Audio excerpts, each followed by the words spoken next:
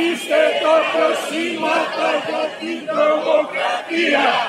Κάνετε πολεμούς για την πλουτοκρατία.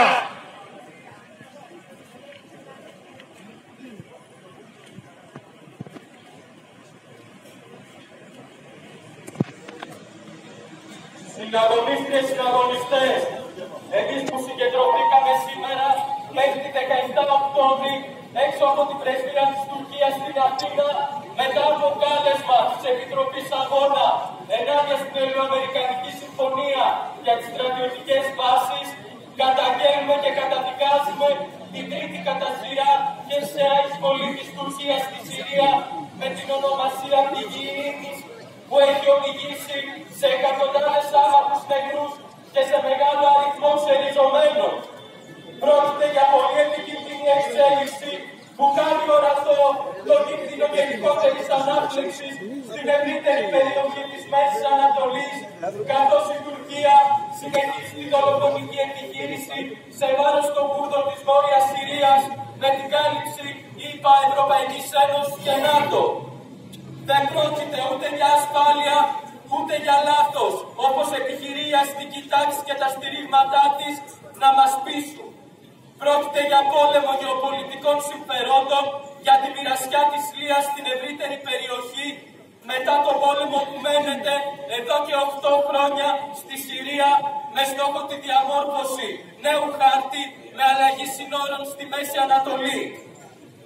Οι ίδιες οι εξελίξεις ξεπροσπιάζουν την κυβέρνηση, τα αστικά κόμματα και όλους όσοι έσπευσαν να πανηγυρίσουν για την πρόσφατη επίσκεψη του Υπουργού Εξωτερικών των ΗΠΑ στην Αθήνα, για την ανανέωση της συμφωνίας για τις βάσεις, καταρρύπτονται στην πράξη ο επικίνδυνος εφησυχασμός που καλλιεργεί η κυβέρνηση και τα άλλα αστικά κόμματα, καθώς και τα επιχειρήματα περί προστασίας που παρέχουν στη χώρα μας η ΗΠΑ, το ΝΑΤΟ, η Ευρωπαϊκή Ένωση από την τουρκική επιθετικότητα. Οι ΗΠΑ άναψαν το πράσινο φως για την επίθεση ενάντια στο Συριακό λαό και στον κουρδικό πληθυσμό της περιοχής. Στο περιάλυτο άλλωστε στρατηγικό διάλογο ανάμεσα στην Ελλάδα και στη ΣΥΠΑ που ολοκληρώθηκε τις προηγούμενες μέρες αποτυπώνεται ανάγλυφα η κοινή σύμπραξη Ελλάδα-ΣΥΠΑ σε πολεμικές επιχειρήσεις με το πρόσχημα της αντιμετώπισης της αστάθειας, της τρομοκρατίας, φωτογραφίζοντας ιδιαίτερα την περιοχή της Μέσης Ανατολής και της Ανατολικής Μεσογείου.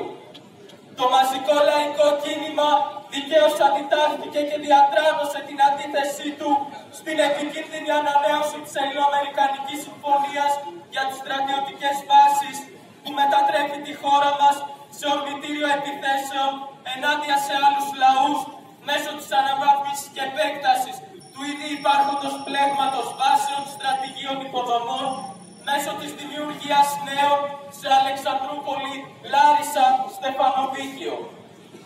Την ίδια στιγμή η χώρα μας μετατρέπεται και σε μαγνήτη επιθέσεων σε αντικείμενη πολεμική σύγκρουση, βάζοντας το λαό μας σε θανάσιμους κινδύνους. Δεν χωρά καμιά επανάπαυση και κανείς εφησυχασμός. Είναι ανάγκη να δυναμώσει η οργανωμένη πάλι ενάντια στο σάπιο εκμεταλλευτικό σύστημα που γεννά ανταγωνισμούς, φτώχεια, πολέμους και προσφυγιά. Αυτή είναι η μόνη εγγύηση για να μπορούν να ζουν οι λαοί ειρηνικά. Κάθε λαός έχει το αναφέρετο δικαίωμα να αποφασίζει μόνος του για το μέλλον και την τύχη της χώρας του. Εκφράζουμε την αλληλεγγύη μας στο Συριακό λαό, αλλά και στο λαό της Τουρκίας που αντιστέκεται και καταδικάζει την τουρκική εισβολή στη Συρία. Καταδικάζουμε την επίθεση της Τουρκίας στη Συρία με την κάλυψη ή θανάτου Ευρωπαϊκής Ένωσης. Καμιά εμπλοκή της Ελλάδας στους περιαλιστικούς σχεδιασμούς. Αλληλεγγύη στο Συριακό λαό. Σήμερα ήρθαμε εδώ ακριβώς για να δηλώσουμε, να καταγγείλουμε το ΝΑΤΟ και βεβαίως τις ενέργειες των χωρών μελών του εκεί στη Βόρεια Συρία όπου υπάρχει σε ανάπτυξη αυτή τη στιγμή ένας μηχανισμός δολοφονικός έχει περάσει στην πράξη δολοφονεί ακόμα και αμάχους και ήρθαμε σήμερα εδώ να δηλώσουμε την καταδίκη μας σε αυτή την πράξη. Βεβαίως είναι γνωστό, φαίνεται εξάλλου από την εικόνα, ότι οι δυνάμεις κατα... καταστολής της κυβέρνησης έχουν σταθεί απέναντι από τους εργαζόμενους από το εργατικό λαϊκό κίνημα ακόμα και μπροστά στην, ε, στην απέτησή μας να πάει μια αντιπροσωπεία να δώσει το ψήφισμά μας στην τουρκική πρεσβεία. Όχι μόνο δεν επιτρέπουν, αλλά καταλαβαίνετε ότι ακριβώς αυτή η εικόνα εδώ που δηλώνει ξεκάθαρα ότι η βία και η καταστολή θα συνεχιστεί και το επόμενο διάστημα, στέκονται απέναντί μας ακόμα και σε μια έκφραση μιας τέτοιας ε, καταγγελίας, μιας τέτοιας ενέργειας από το εργατικό λαϊκό κίνημα. Όχι μόνο τους καταγγέλουμε σε όλο το λαό, αλλά θέλουμε να δείξουμε ξεκάθαρα ότι αν δεν πάμε, αν δεν ε, στοχεύσουμε απέναντι σε αυτή τη βία και την καταστολή, αυτό που μας περιμένει το επόμενο διάστημα είναι κλιμάκωση ακόμα μεγαλύτερη από μέρους τους σε όλες τις φάσεις της ζωής των εργαζομένων και του λαού. Τους καταγγέλουμε λοιπόν και καλούμε και σήμερα εδώ, στο συλλαλητήριο σήμερα το απόγευμα, που κάνουν τα συνδικάτα, οι ομοσπονδίες, τα εργατικά κέντρα, οι δυνάμεις που συσπηρώνονται στο πάνω. Στις 6.30 στην πλατεία Κλαθμόνος.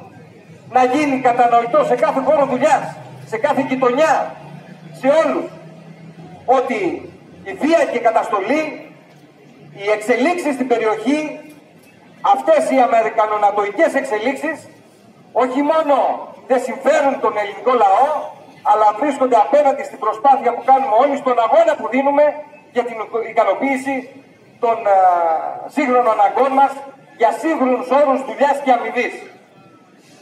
Θα συνεχίσουμε αποκαλύπτοντας ακόμα περισσότερο το επόμενο διάστημα σε κάθε χώρο δουλειάς αυτό το ρόλο της ελληνικής κυβέρνησης που όπως και οι προηγούμενοι είναι με τα μπούνια μέσα σε όλο αυτό το παζάρι που γίνεται αυτή τη στιγμή στη Μέση Ανατολή και στην ευρύτερη περιοχή.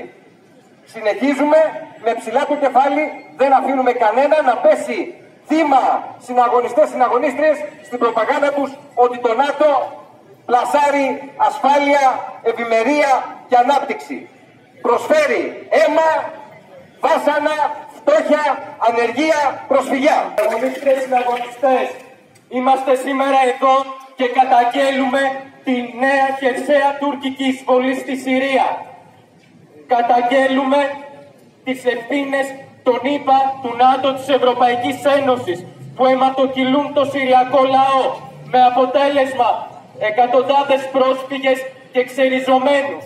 Την ίδια στιγμή καταγγέλουμε και την ελληνική κυβέρνηση που εντείνει την καταστολή, εντείνει την αστυνομοκρατία και φτάνει μέχρι στο σημείο να μην μας επιτρέψει ούτε το ψήφισμα της σημερινής παράστασης διαμαρτυρίας να πυροκολλήσουμε στην τουρκική πρεσβεία.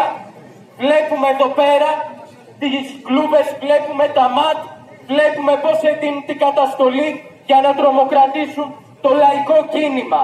Εμείς λέμε η τρομοκρατία δεν θα περάσει. Δυναμώνουμε την αντιπεριαλιστική πάλι. Καμιά εμπλοκή της χώρας μας στους υπεριαλιστικούς σχεδιασμούς και πολέμους.